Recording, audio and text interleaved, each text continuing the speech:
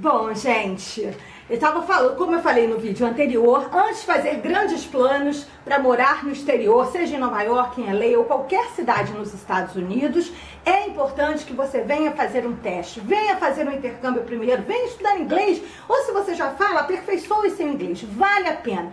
É um investimento que vai trazer a realidade, um pouco pelo menos da realidade da vida no exterior, para vocês, de repente, que nunca, algumas pessoas nunca tiveram oportunidade ainda de sair do país e tem aquele sonho todo. Enfim, então faça a coisa certa para que essa experiência seja inesquecível e maravilhosa para você. Especialmente as meninas, Outro dia eu até postei alguma coisa sobre isso no Twitter. É, no Brasil, obviamente, o nosso, a nossa cultura, né? Muita gente tem uma pessoa em casa que ajuda, faz comida, ou às vezes não tem uma empregada, mas tem a mamãe, tem a vovó, né? Uma tia, um irmão mais velho, sempre para cuidar da casa e cuidar da gente e tem o porteiro do prédio, né? Ou se você mora numa vila, de repente tem alguém na sua na, na rua que cuida da rua, enfim, tem um vizinho, aquela liberdade de bater na casa do vizinho, para não só para pedir açúcar, mas para numa hora de aperto, de necessidade, enfim. No Brasil a gente tem essa cultura.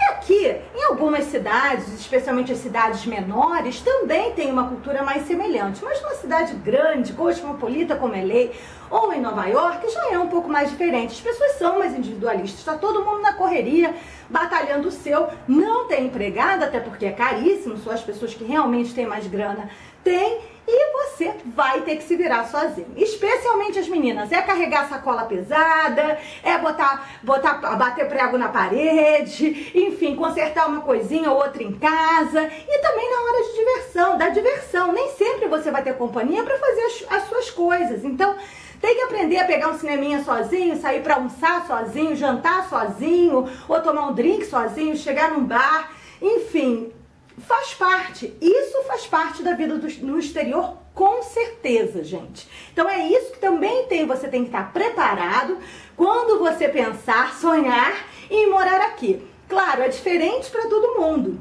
Mas é, tu, todas essas etapas vão fazer, quanto mais independente você for, não só emocionalmente, como na prática mesmo, no seu dia a dia, de novo, mais fácil vai ser a sua adaptação na vida aqui fora. E mais você vai curtir, mais gente você vai conhecer.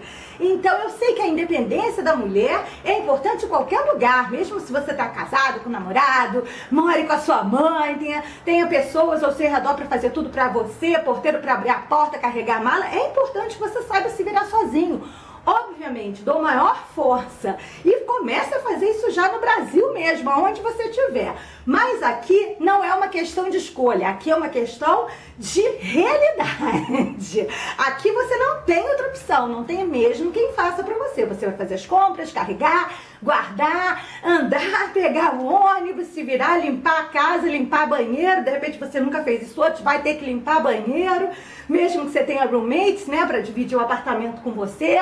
Você vai ter que aprender a cozinhar, enfim, e até aprender a sair sozinho. Então, meninas, prestem atenção nisso, aquelas que ainda não fazem e que têm esse sonho.